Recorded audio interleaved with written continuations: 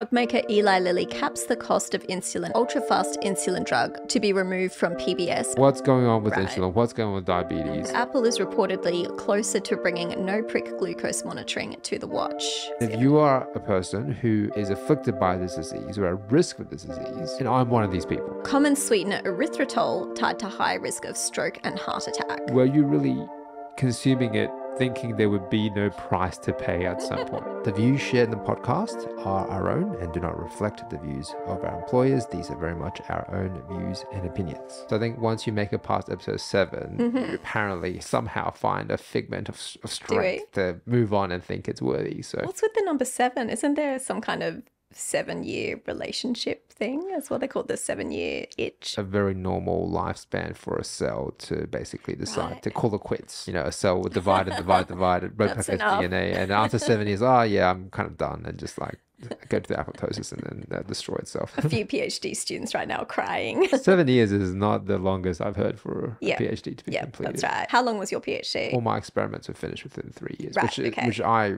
very much appreciate is on the short end. yeah, yeah, Most- very much so. Most biological science PhDs go for what, four or five years, right? How, how long did yours stay? Mm-hmm. Pretty much four years spot on to Four submission, spot so that included writing. I don't know. In the US, a Curious five year. PhD is kind of the minimum, right? On that tone of things, feeling interminable and never ending. Welcome to the Crossover Connections podcast. This is episode four. My name is Jack Wang. I'm a scientist, uh, specifically a microbiologist, and I also work as a teaching professor at an Australian university. Amanda, what's your area of expertise? got a PhD in cell biology, and I currently work as a manager of clinical research. And this podcast, to recap, is our way of navigating all the news headlines in areas that we are supposed experts in.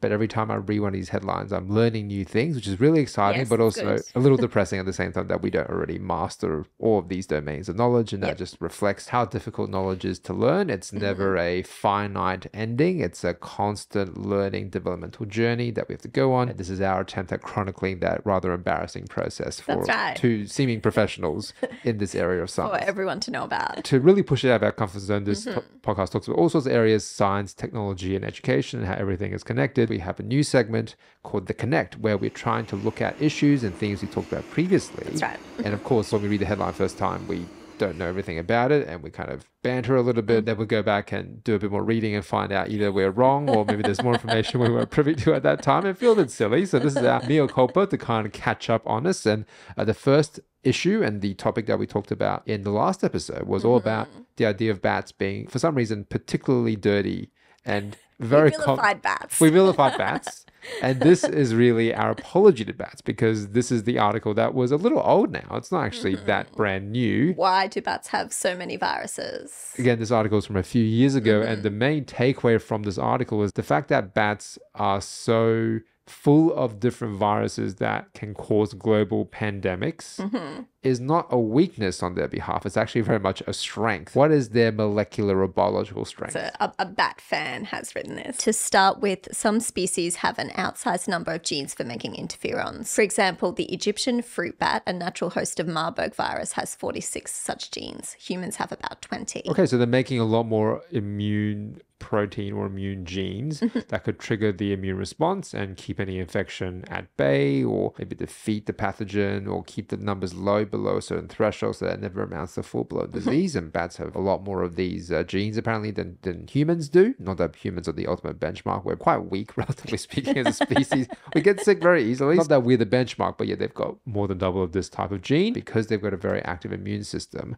They can be asymptomatic carriers where they've Right. got the disease. Mm-hmm. But are not lying sick in bed, whatever the bat equivalent of bed would be. So they're out about in the world. That's right, yeah. They feel maybe a little bit off, but not off by enough to, Still persevering. to be out there in the community, doing whatever bats are doing in the community. We could be more like bats. And this is not just a genetic correlation. The article also posits another theory, which is connected to bat's level of activity. Bats are the only mammals capable of sustained powered flight. They don't just glide, a feat that required changes in metabolism. Flight is a major workout. Estimates suggest a bat's metabolic rate can increase up to 34 times over its resting level when it takes to the air. Oh, so exercise. That's the answer. Always comes back to uh, exercise. so they're is good for genetically genetically blessed and they do a ton of exercise That's apparently. right. Mm-hmm. So that's why they're able able to survive in the face of so many infections that Mm-hmm. would kill most humans Yeah. and therefore spread the infection because they had the disease but they had the symptoms. They're the. Mm-hmm. They exercise all the time. the, the most annoying kind of uh, metaphor for humans that are in this kind of category as well. It's not useful advice.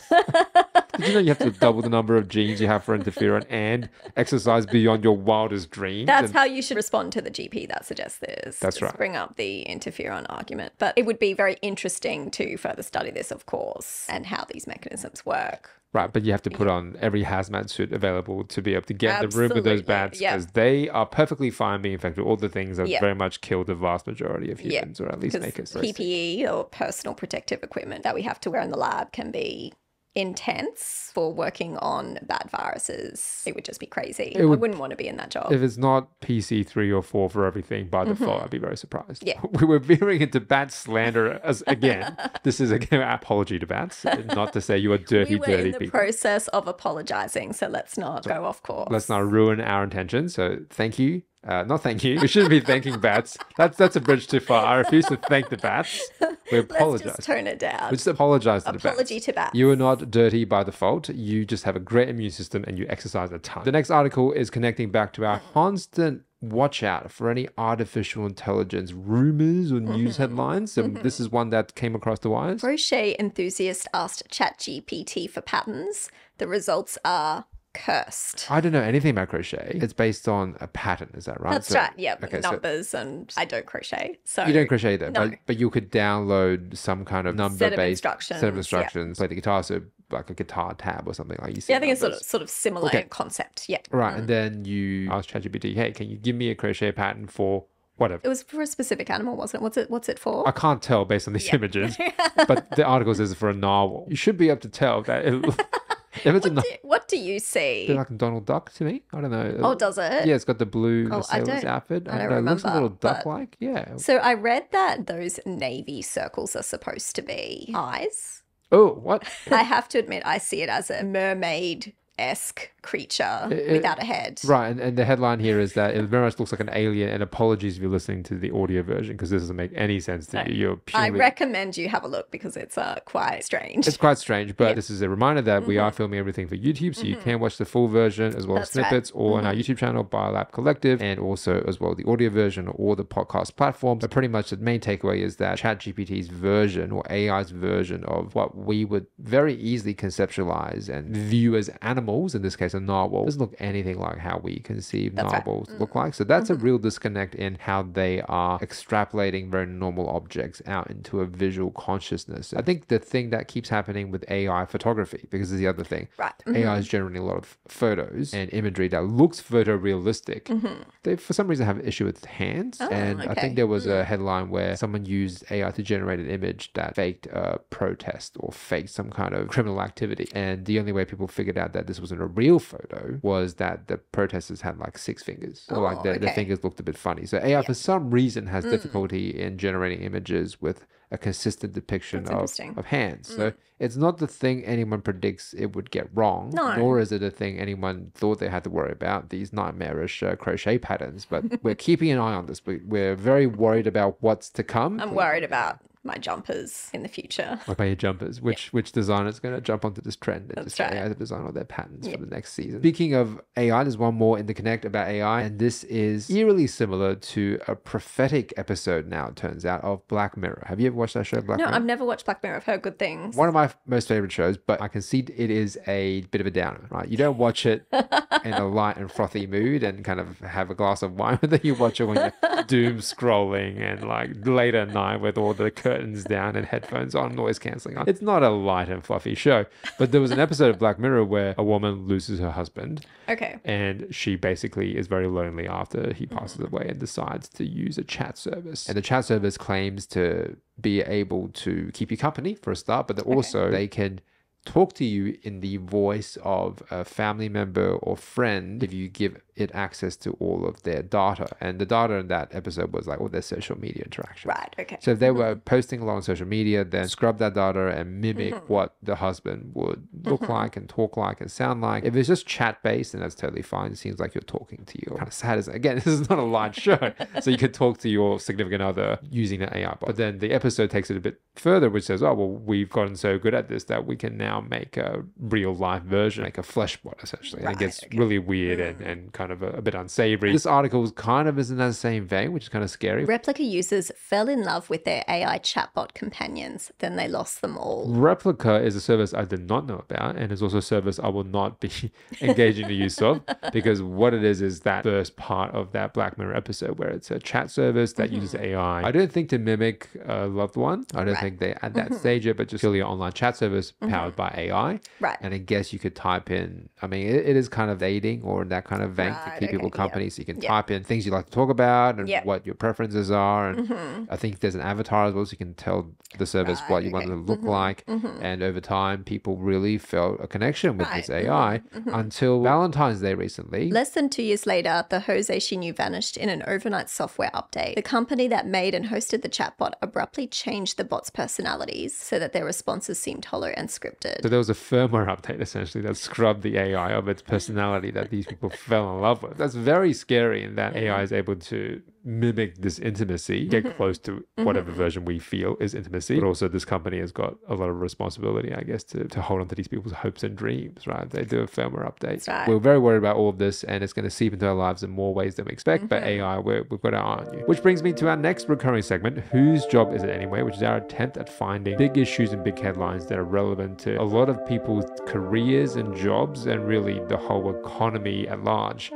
We are not economists. I think that's very clear. We should put that as part of our disclaimer. We do not need to put Yeah. that. No one will suspect for a second that we're economists, right? It'll be very obvious. The reason we're talking about this is that I think science and business obviously are connected, and the mm-hmm. more advanced science and technology becomes, the more entwined it becomes. But not the Wall Street side of business that seems impenetrable to people who don't know much about it like us. Just it filters down to our everyday lives. How many more bills are we going to have to pay? There's a looming recession. We all mm-hmm. have to worry about pitching pennies. And so this is not one article. This is a series of articles. They all paint quite an alarming trend. Mm-hmm. And the first article, Drug maker Eli Lilly caps the cost of insulin at $35 a month, bringing relief for millions. The move puts the drug maker in line with the popular provision in the Inflation Reduction Act that capped the medication's costs for seniors on Medicare. insulin, of course, is used to treat diabetes. Mm-hmm. It's one of the drugs that's used to treat diabetes, but probably is the most prominent one. And the cost being $35 a month. This is, as, as we said, in the United States. That's right. The cost of any drug in any country is subject to a whole bunch of different factors. Highly variable. In Australia, Mm. we talked about a little bit with respect to certain advisory committees that Mm-hmm. have to decide if a drug is subsidized or paid for by the government That's in part. right. But this is something to do with a drug becoming a lot cheaper, Mm-hmm. this insulin drug in the States. Good news, I think, the fact that it's come down. Idea that it had to come down Mm. to 35 a month, which, by the way, is not that cheap either. No, it's still not a small amount of money Right, for, $35 a month is still a, for a, a chronic illness. and again, it's unclear if it's for one person's worth of dosage. What if your whole family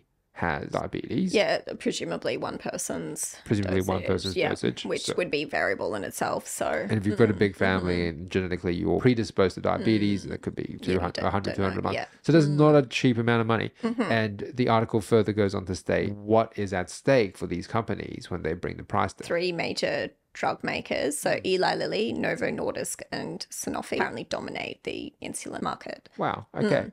And insulin is, like all the drugs, under Mm-hmm. pretty tight regulation as to how it's made and who can make it. Yeah, that's right. Mm.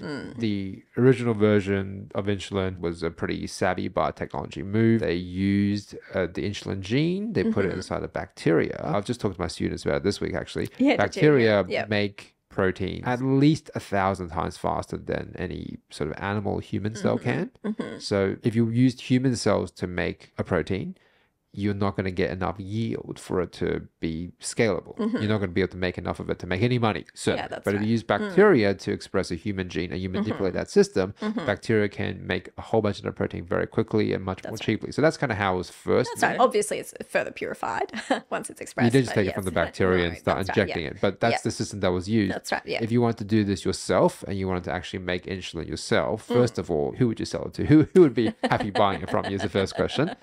And also, you need the, the technical and hands on skill know how to be able right, to yeah. Mm. do all that, which is a, big if. But yeah, it is regulated, right? So that's what these three companies have. Yeah, that's right. Control over this Yeah. process. Again, this is good news. Right, the fact that a drug price is coming down, the fact that people and so many people have to rely on this drug Mm-hmm. and pay this price and is subject to this volatility in the That's market. That's right. That's very worrying. So differently priced across the world as well. Definitely Mm. priced across the world.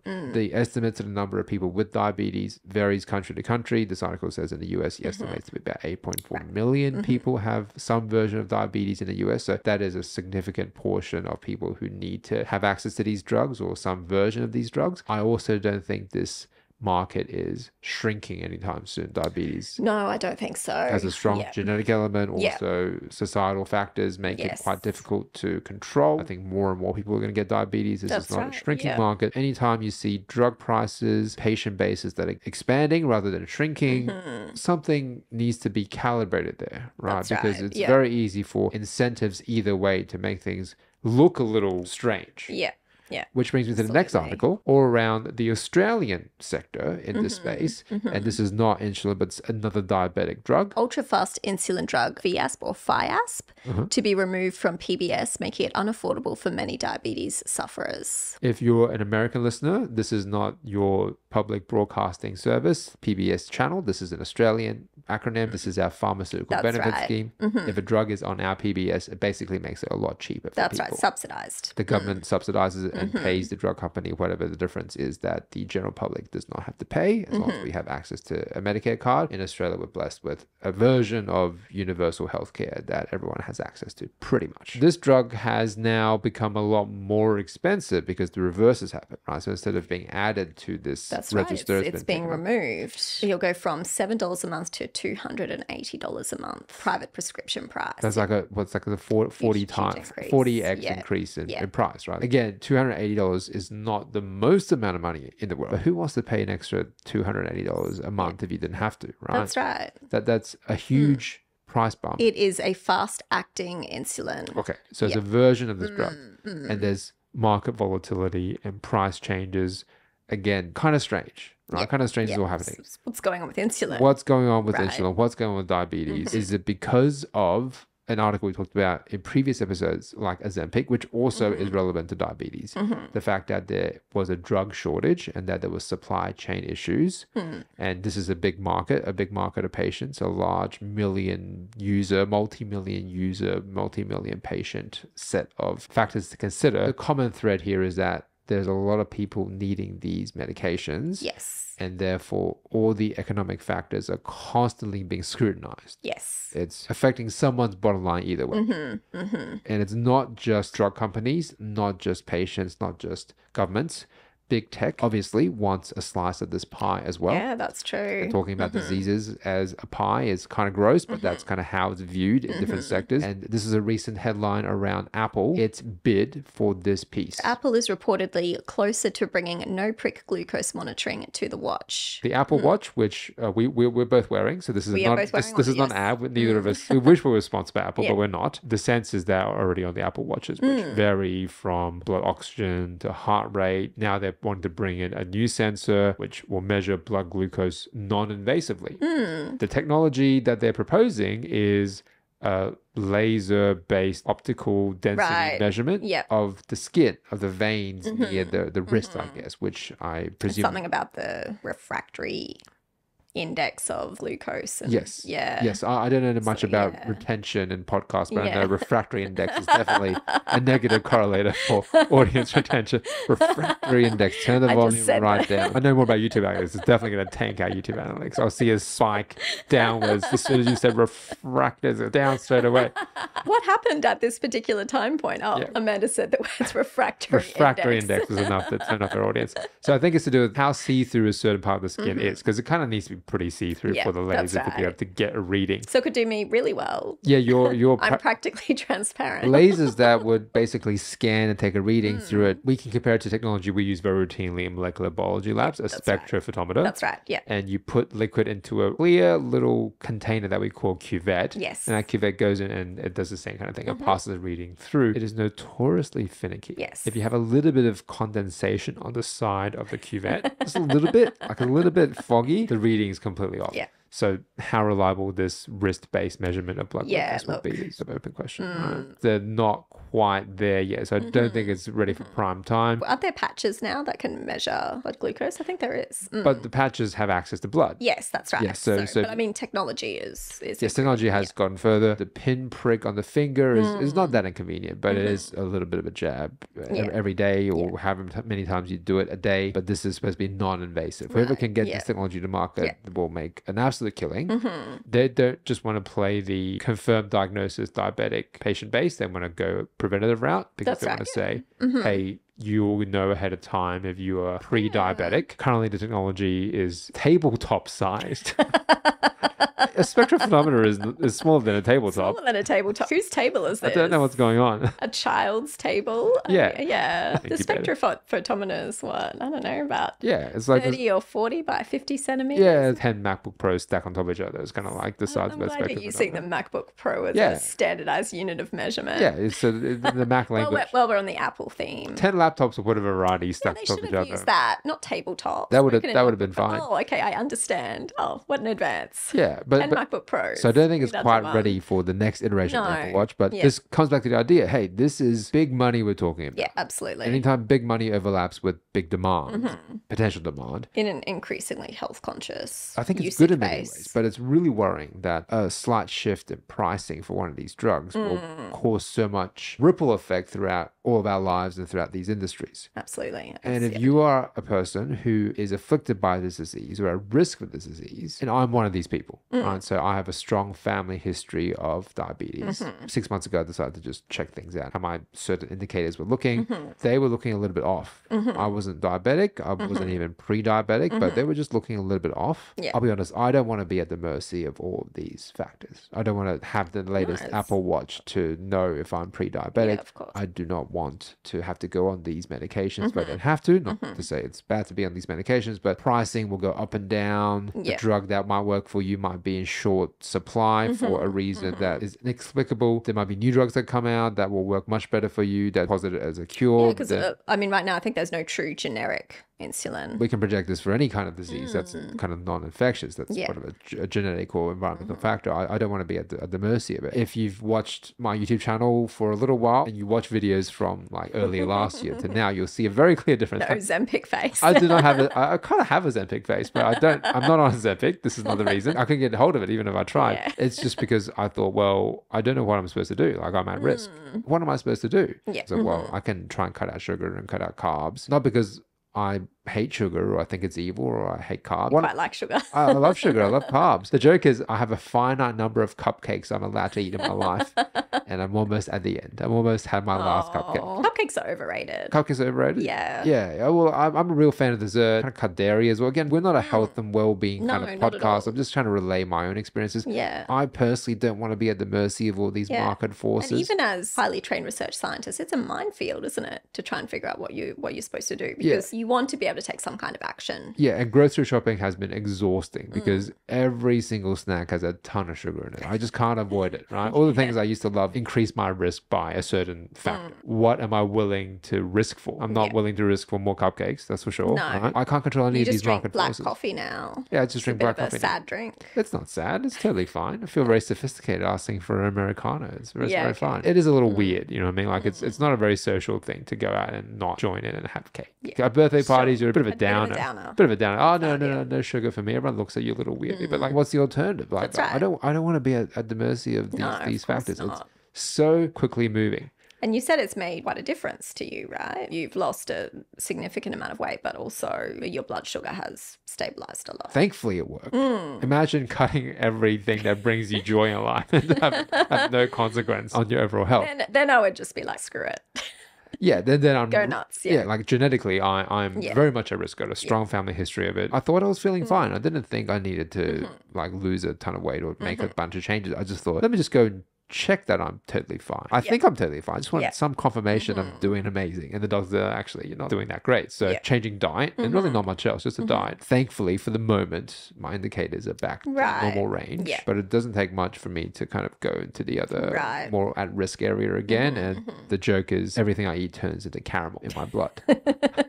your blood is caramel. That's right. E- Everything I eat, if it's got a tiny bit of sugar, it just turns into Yeah. caramel. We are not a health advice type podcast. no, this I'm is not Jack's advocating. personal experience. No, I'm not advocating for all of you to cut sugar. In fact, eat as much sugar as you possibly can while you still can. Again, I think I've had my last cupcake. You've had your last cupcake. I've had my last cupcake, but it's because of factors out of my control. And what I want as an individual is to always have as many things within my control as possible, Yeah. especially as it relates to health. You don't want to be medicated so young if you don't have to. So Again, nothing Mm. wrong with medication, but apparently this kind of medication is so unpredictable as to its Yeah. availability, its Mm. pricing, Mm-hmm.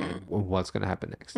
I think I've had my last cupcake. Mm-hmm. And I've also had my last diet soda, which brings me to our crossover of the week. Common sweetener erythritol tied to high risk of stroke and heart attack. now, this was quite a high profile article, Yeah, wasn't it? yes, it was published in the journal Nature Medicine. Yeah. Mm. And unless you're in the field, you probably don't realize what that word nature really co- yeah, has communicates. connotations of. you publish in Nature. What does that mean? Um, Mm. Nature is one of the most high-profile journals that any scientist can hope to That's publish. right. And once upon a time, I don't think it's the case anymore. Your dream as a scientist was to Mm-hmm. get one single Nature publication, Uh, because if you've done it once, you've proven that you can publish and work at the highest possible level That's in the right. field. It, can be career making. And once you have that in a lot of paper, you can then convince people to give you more money and more prestige. You can get your pick of jobs. Mm-hmm. Yeah. I don't think it's quite as accessible these days, but still, I think it's harder than ever to publish in Nature. Absolutely. So this is published in Nature, Mm. Nature medicine. Nature Medicine, Yeah. and that's a really big deal. That is not a headline that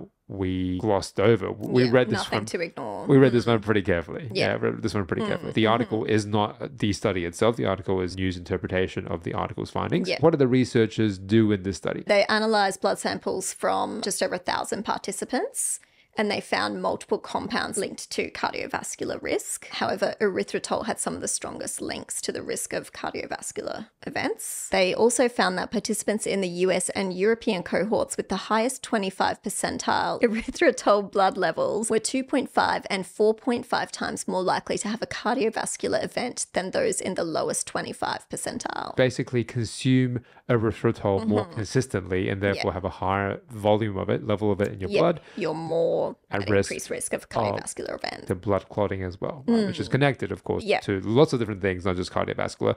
But if you consume or you had a higher level of erythritol, you were more likely to clot. Mm-hmm. That's your blood. right. This is my hot take. Yeah. Does anyone eating artificial sweetener really think that there's no cost to pay? My hot take. Surely you were Don't consuming. don't take my Coke Zero away. surely you were consuming this realizing you Mm. have to pay the piper at some point. Mm-hmm. That's my hot take. okay. I know it's billed as being very safe, but how can it just taste sweet but have no calories and have no Mm. You're, other suspi- you're a suspicious person. Yeah, like I'll take the calories sometimes, you know? Can't this be a modern miracle? Apparently it's not, although this study is not confirmation of Mm. A death sentence for artificial sweeteners in all our foods. No, it's more of a warning. Studies they've done are concerning. Hmm. And so they're saying here through multiple tests, they found that increased erythritol levels indicated high rates of clot formation and increased thrombosis potential. Neither of those things are good for people consuming it, nor Mm-hmm. the makers of artificial sweeteners. This is a specific type of artificial sweetener, erythritol, but That's right. I'd be surprised if this kind of similar finding won't happen next with other artificial sweeteners. Yeah, that's. I'd like to look at the paper in more detail to see what the other compounds they looked at were, if they were other artificial sweeteners or why erythritol in particular. There are other common ones. And the researchers did concede that the conclusion of the paper was not that artificial sweeteners are globally bad, Mm-hmm. but that this kind of study needs to happen more frequently That's to right. Mm-hmm. get more long-term data on this because yeah it's very much a part of people's lives you know a lot of people drink and something that a lot know of artificial sweeteners and- people are very undecided about whether it's okay for them to have or not. There's been a lot of different research out there. Some I remember a while back, I think it was suggesting that regularly consuming these compounds increase like your craving, eating sweet things. There's a lot of back and forth in the research about whether it's good or bad or okay. And this seems to have been the most definitive piece of work so far Mm. That's that right. firmly puts it in the negative camp in a really high profile job. Mm, absolutely. If you are not in this area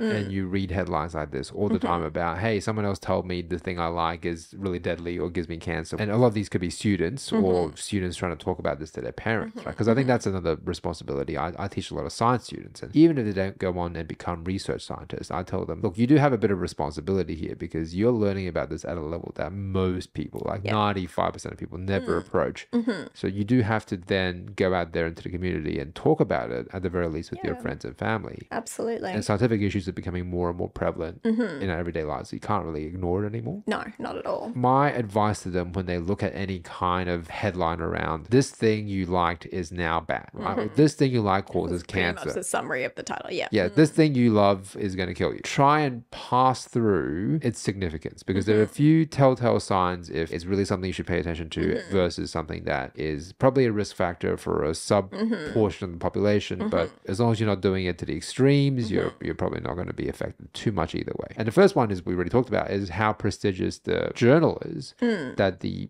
article, the original research was published. It's not an indicator 100% of the No. time, but it does give us an idea of how trusted the research can be because of how rigorous the review process would have been. I have colleagues who routinely publish in Nature. They tell me that back and forth submitting the paper easily, what, 10 times? So many times. Yeah. Easily. Every Mm-hmm. time they ask for a lot more work, and it could be two, three years from initial point of submission. And this is, you know, through a, a process used by journals called peer review. yes. Which is where experts in the field give feedback, ask questions, Mm. basically want to test the validity of the claims that are made. If you do one or two rounds of back and forth Mm-hmm. with reviewers, that's usually enough. Otherwise, they reject you outright. That's kind Yeah. of been my experience. But these journals, they really want every time to back and forth That's so right. Mm-hmm. many times, and each time they want so many more experiments to be done. It's not worth it. But in this case, if it's a big enough and important enough finding, it's in this paper, it's worth doing. So anyway, this journal, Nature suite of publications, is very, very significant. So Mm-hmm. that's not the thing that's going to give it away. All right. The next thing you look at, other than the outlet that was published in, is how many people was the study looking at. That's and in right. this case, it was over 2,000 participants. They looked at thousands very broadly. I think that's good. Yeah. If it was hundreds, you'd be a little bit more concerned. That's right. I'd be more comfortable with the tens of 1000s Mm-hmm. from multiple countries, but it seems like they dabbled it from United States and Europe. So yeah, it is multiple countries. Yep, so different sort of genetic backgrounds, So which is important. So that's good. Not a red flag in this case Mm-hmm. either. And look at me critiquing a nature paper. You don't need me to critique a nature paper. It's clearly been through vetting. But Yeah. I'm just trying to walk through the, the yeah, logical the process. that you would look at. at. filter. Mm. So, so I don't think the sample size is a Mm-hmm. red flag for any point of concern. Then you want to see what kind of data they're analyzing. I don't recommend looking at data presented in nature journals unless you're kind of in the field because it will look really opaque. You'll see crazy graphs, you'll Mm-hmm. see lots of different plots, and you'll see statistical tests. So I don't recommend the graphs, but I recommend looking through the methods section to Yep. see what kind of work actually was done. Mm-hmm. When they looked at thousands of participants, and they were trying to do statistical comparisons to check if there was a connection between one factor being high and another factor being high. That's right. And you'd want to be careful with something like this because obviously cardiovascular risk would be multifactorial. Mm-hmm. So there'd be a lot of different things you'd need to take into consideration in a study like this. And the authors do concede that Mm. a limitation is that there could be other confounders, That's right. other variables they didn't control. And it's tricky. So they're adjusting risk based on age, smoking status, blood pressure, cholesterol levels, etc. And conceding that it's possible that unmeasured confounders may be present, such as diet, which could have affected the results. Probably did their best to control for it, but across a few tricky, thousand right? people, you may have missed a confounder that is going to bias the results. Not to mention, even choosing several thousand people from a few different countries, there will inevitably be confirmation bias. Mm-hmm. It won't be a purely neutral recruitment process. It just can't be. Right? Like, people do have to volunteer for it at mm. some level. So it may be people who are more worried about it, or maybe people who saw it and thought it would be relevant. concerned. So yeah. th- there are mm. these social, mm-hmm. cognitive, psychological factors that these studies typically don't control for. No, it's hard to delve into Right. it. isn't It, it? it may be mm-hmm. impossible to do that. It's just saying this kind of study needs to continue to get more that's right. data. This kind of population wide analysis, very rarely is it what we call causal. Very rarely can it pinpoint one Mm-hmm. thing will definitely cause the other. Erythritol will definitely cause cardiac arrest or cardiac disease or blood clotting. It Mm. Just be. if you consume erythritol by this much more, then your risk of the other thing will go up by this Mm. much more. But it's an association. A correlation. That's mm, right. One thing goes up, the other goes Mm-hmm. up, or one thing goes down, the other thing goes down. But it's not causal. For it to be Mm. causal, you need to conduct it in a tightly controlled experimental setting, which we call an intervention study. Mm-hmm. So that's the other thing you have to be on the lookout for. You can't really do it in an intervention study at scale. Unlikely. Certainly, if it's the first kind of study, it's cost too much. It's, Expensive, very expensive. it's like a full blown clinical trial at that point, right? expensive. So then you do need the population wide study that Mm-hmm. really can't give you the causal connection. So they've got that piece of it in this Mm-hmm. paper. And then you need the intervention study where they give people the thing that Yeah. is supposed to increase the other thing. Yep, and then say, hey, what happens? And so in this case, they did do an intervention study. So Mm-hmm. again, we're not looking at the graphs and the figures unless you really know a lot about this kind of stuff. You're reading the methods section and seeing what kind of methods they actually used. Mm. In this case, they did do both a population-wide Mm-hmm. analysis as well as an intervention study. Now, how many people was the question was involved in the intervention study? Eight. Hmm. Eight people. What did they make these people do? They gave them the erythritol. In a prospective pilot intervention study, and it's got a an ID here. It's a link to a clinical trials database or Oh. registry where you can actually click on this link and have a look at the details of the trial, which Okay, is very interesting. So yeah. this is a clinical trial. pretty Yeah, you could click on this link and have a look at the study itself, which is something that people might want to do. So they were saying that erythritol ingestion in healthy volunteers, number is eight, induced marked and sustained more than two days of increases in plasma erythritol levels, well above thresholds associated with heightened platelet reactivity and thrombosis potential in vitro and in in vivo studies. So they did take it to the next level. That's right. and reproduce the observation Mm-hmm. under a causal connection within a tightly controlled group. And they didn't register it with the clinical trials, Yeah. Mm-hmm. which I wouldn't expect anything less at this kind of level of publication. Yeah. But it's an eight people, Yeah. right? It's That's an, an event. That's the one thing that often is is the caveat in this kind of stuff hmm. because with eight people, all of those issues that affected the thousand people group of possible confounders and mm-hmm. confirmation bias mm-hmm. and choosing people that were already at risk of this kind Yeah. of stuff, that's of course magnified and amplified. in Yeah, so they've just called it a prospective pilot intervention study. So it's a small scale Yes. interventional study here. Based on this, it's not enough to throw out Mm. all of the Diet Coke or whatever Diet mm-hmm. Soda or stevia artificial sweetener you have in your Not pantry, yet.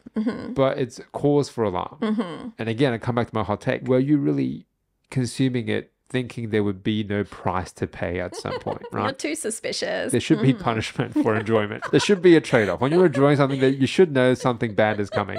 Some point. There's got to be a trade off, right? And this may be the trade off, it may not be. Mm. If you were consuming a lot of artificial sweetener, consider reducing it perhaps. But I think keeping an eye out for it is a good thing too. Mm. And I think this will be a watch this space because I imagine that they're taking this to the next level trial, probably having a look at more participants, longer term study, probably to see what happens long Right. term. Mm. And best case scenario, it would be enough to alert the people making artificial sweetener Yeah. and double down on the investment and mm-hmm. finding the part of it that mm-hmm. is contributing to this risk and hopefully engineering a better version of it, a sweet, sweet flavor without the risk of any of these diseases. So hopefully this spurs on more It's innovation. not stevia, I'm not a fan. Not a fan of stevia. uh, we're- Yeah, we're, not sponsored by disgusting. stevia, but if we were, you just ruin Sorry, any chances of us getting Sorry, that sponsored for the future. So- Sorry, Bats. That brings us to the end of yet another episode of Crossover Hmm. Connections. We'll learn about global market forces and all of these drug companies, as well as always keep an eye out on artificial intelligence, AI, and those dirty, dirty bats with their incredible immune systems and frustratingly mobile and agile fitness bats. regimes. Those bats just get more infuriating with every article we read. They make me even more angry. If you've been watching along on YouTube, thanks for following along, as well as on the podcast platforms. Mm-hmm. You can find us on Apple Podcasts, Spotify, Stitcher, really anywhere you find your podcast. Thank you for listening. This is episode four of the Crossover Connections podcast. I'm Jack. And I'm Amanda. Hope to connect with you again this time around in the next episode.